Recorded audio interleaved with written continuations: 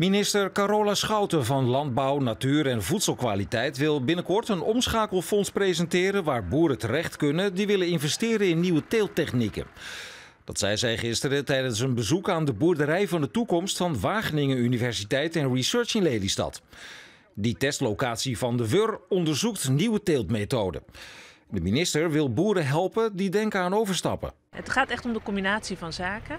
Maar we kijken tegelijkertijd als kabinet ook wat er voor nodig is om bijvoorbeeld eh, boeren te kunnen laten omschakelen. Ik kom binnenkort ook uh, met plannen hoe we bijvoorbeeld een omschakelfonds kunnen gaan vormgeven.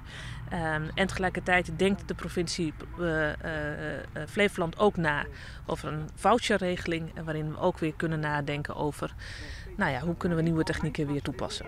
De boerderij van de toekomst is een 105 hectare grote proeflocatie van de WUR naar andere teeltmethoden en andere werkwijzen in de landbouw. De minister kreeg een rondleiding over het terrein en ze zich informeren over de stand van zaken. De testlocatie onderzoekt een aantal ontwikkelingen, zegt Pieter de Wolf van de WUR. De gevolgen van klimaatverandering, het tegengaan van bodemverdichting door zware machines en het bestrijden van ziekten en plagen zonder chemische middelen een van de dingen, ik zei al klimaatverandering, dat hè, droog en nat. Hè, dus het kan heel droog zijn en het kan ook weer heel nat zijn. En wat je dan ziet in, de, in, de, in ook de akkerbouw, dat grote machines drukken de bodem aan. Nou, die bodemverdichting helpt natuurlijk niet. Als het nat is, kan het water niet weg. En als het droog is, kunnen de wortels niet diep genoeg.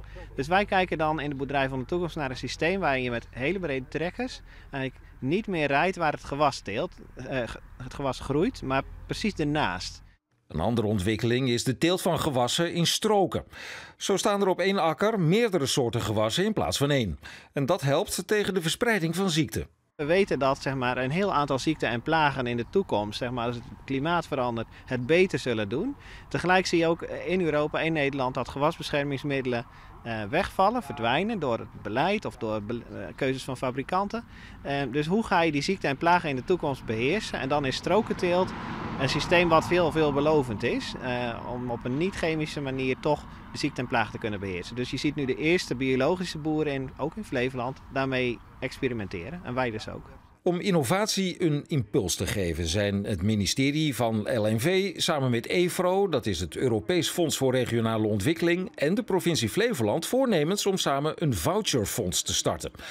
Dat is een fonds om nieuwe producten te ontwikkelen voor de landbouw, zegt gedeputeerde Jan-Nico Appelman. Wij hopen dat uiteindelijk uh, heel veel bedrijven en heel veel ondernemers uh, op dit innovatieplatform wat hier ligt afkomen om hier in Flevoland ook die producten te ontwikkelen. Dat betekent dat die bedrijven hier komen, dat die producten hier ontwikkeld worden en dat dat uiteindelijk die innovaties hier ook weer nieuwe werkgelegenheid oplevert.